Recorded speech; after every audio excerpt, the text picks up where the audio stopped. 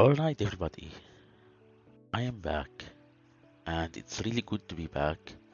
I'm glad that AMD has released a new graphics card, which is uh, 6950 XT, and I got the Sapphire Toxic Limited Edition, which has a liquid cooling, an AIO with an three installed fans that you can already mount to your case, and uh, it, it has been really a good uh, product so far.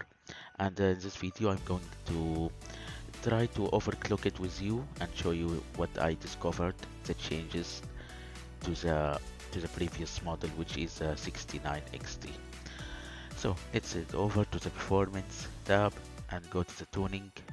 I've already set up my my personal profile and uh, feel free to follow it up if you have this uh, specific graphics card. I'm not sure if other models have uh, same uh, parameters uh, capacity. So uh, let's hope that uh, it goes well.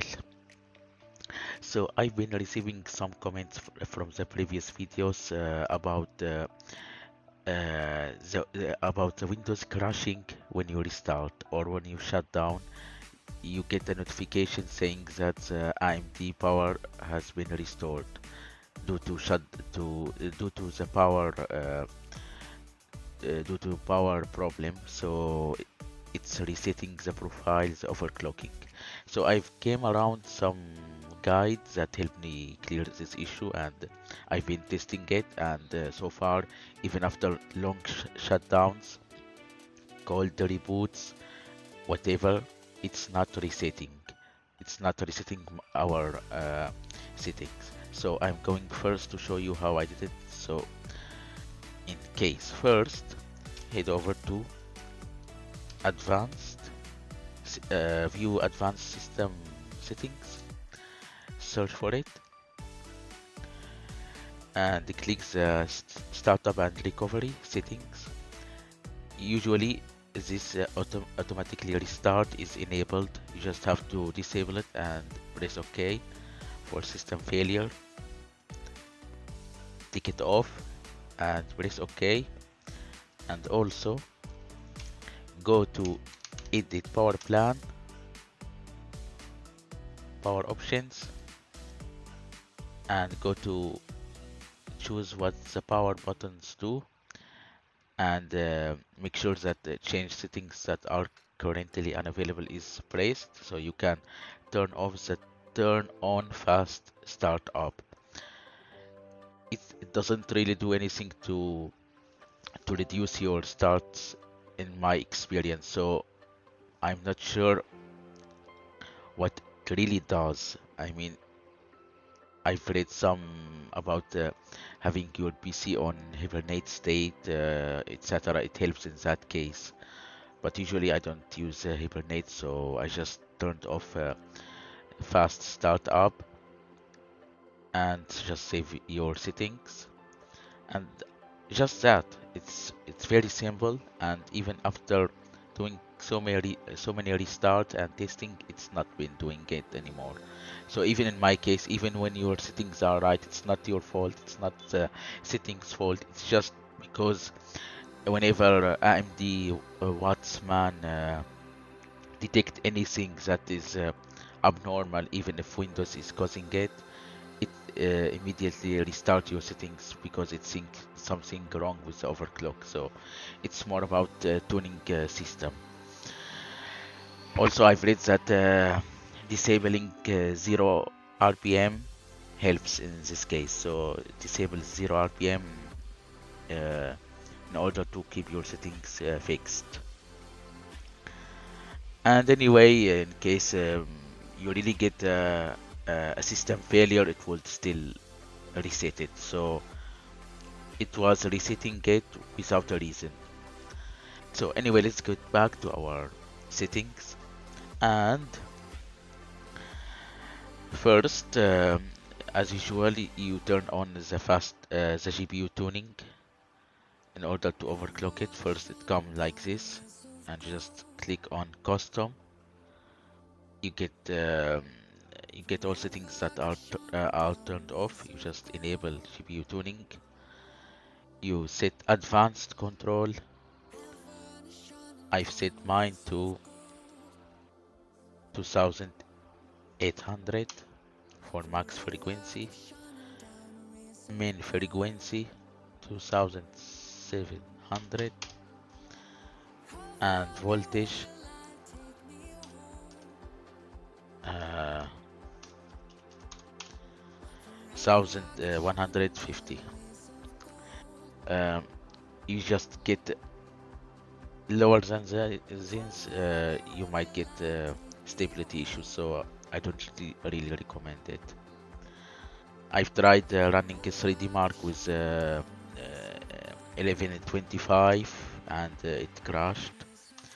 With uh, 1150 it didn't. So I, I assume it's uh, it's good. Then the good thing about the new RX uh, 6090 50 XT which is uh, the VRAM tuning has seen a significant increase in frequency and uh, uh, overclocking headroom. So uh, in the previous model uh, this was usually 2000 um, at default uh, parameter.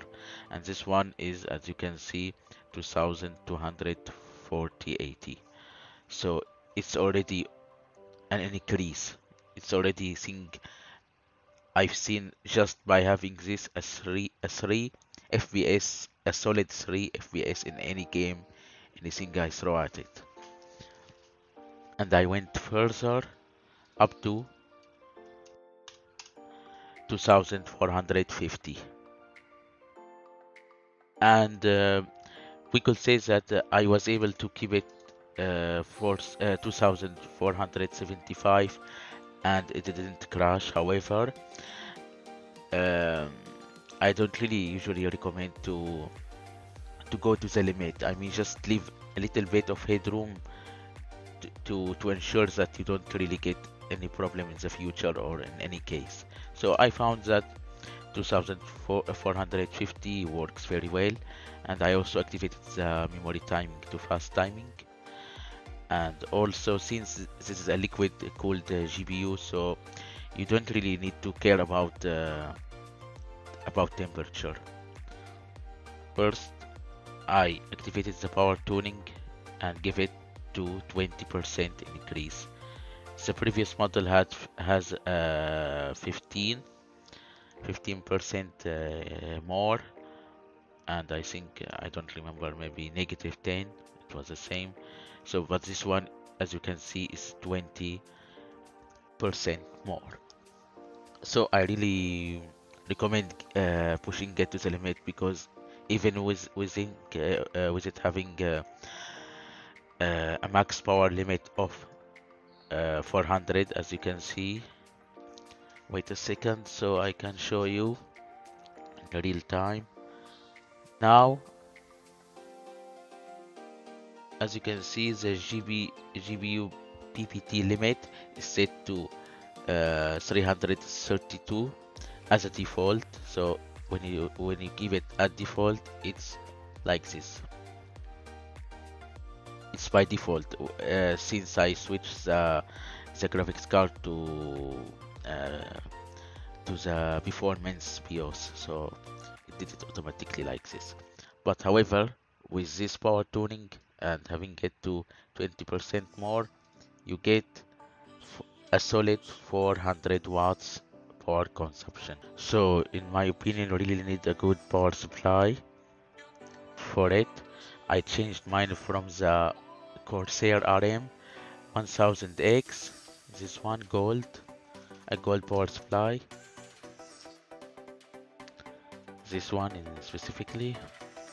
Two uh, be quiet dark power pro uh, 12 thousand uh, thousand two hundred watts.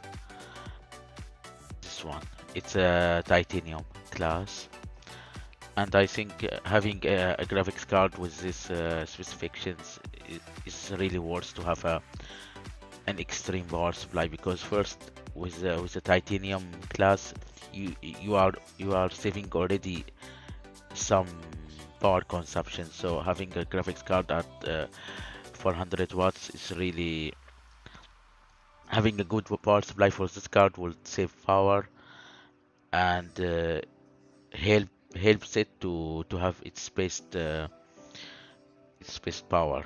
So I just uh, power tuning to 20% and the fan curve I disable 0 RPM I hate 0 RPM because uh, I don't really find it necessarily since you already have a can uh, you, ha you already have a fans running in your case so the noise is really it, it won't really uh, change anyway uh, you are free to do it like uh, 70 percent uh, 75 is really okay. It won't be audible anyway. It's not really loud be, uh, at 75 but if you go like 80 uh, percent it gets loud and so etc so keep it 75 and you can also do the, the fan curve. Usually I do mine but uh, it's a personal it's a personal uh, setting so it depends on your environment uh, and your fans etc so I won't really do it. I just give it 75 and apply.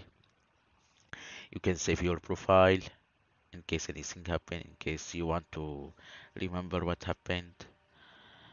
Uh, you can save it to your desktop name it whatever you want RX XT overclock.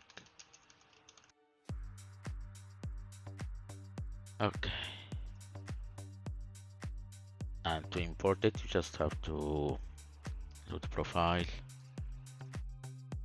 and it will load. So anyway that's the profile. Now I'll show you guys the, the, the benchmark the results that I got and I really hope that uh, you like it and found this video to be useful please leave leave your comments your feedback. I'm really hoping to see uh, your opinions about uh, my content my humble content and I would really like to improve it. So see you guys next time and please subscribe like if you enjoy my content. See you next time